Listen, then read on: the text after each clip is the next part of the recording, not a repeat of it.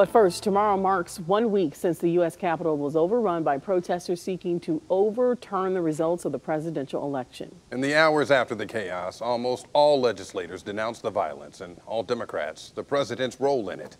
Six days later, most Republicans remain silent on that point. News 5's John Kosich joins us. And John, it's not for a lack of trying. Yeah, no, not since last Wednesday, our, our news desk, our web staff, our investigative team, and myself have been reaching out to our Republican lawmakers in the state looking for statements or interviews related to the president's action last week. For the most part, since then, it's been radio silence.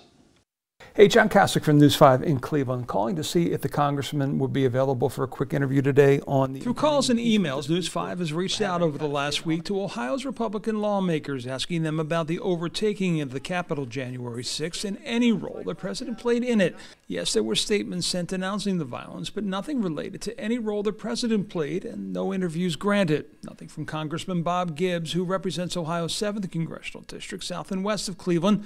Gibbs was one of 121 Republicans who voted to object to the Electoral College vote after order was restored. His only tweets, even since then, were going after Twitter after it suspended President Trump's account for their failure to take similar action in the past against China and Iran. Congressman Jim Jordan, whose district includes some of Cleveland's western suburbs, today denouncing the attacks on the president brought by those calling on Vice President Pence to invoke the 25th Amendment, ruling the president unfit. We're here again to consider a Democrat resolution to attack the president just eight days before he has said he will leave office. The committee chair taking issue with that. They came here to destroy things, to desecrate things.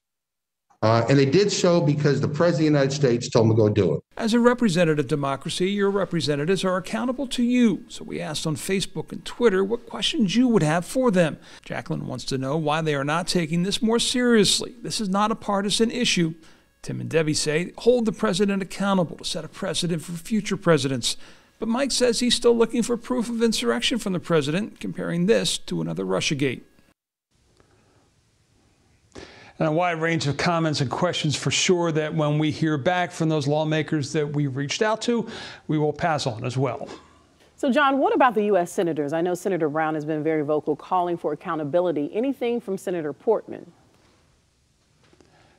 Senator Portman actually responded within the past hour saying that both of his words and actions, President Trump, President Trump bears some responsibility for what happened.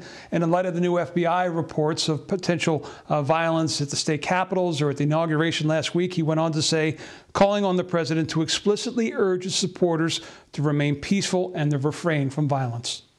All right, John, we appreciate you being all over that. Thank you very much.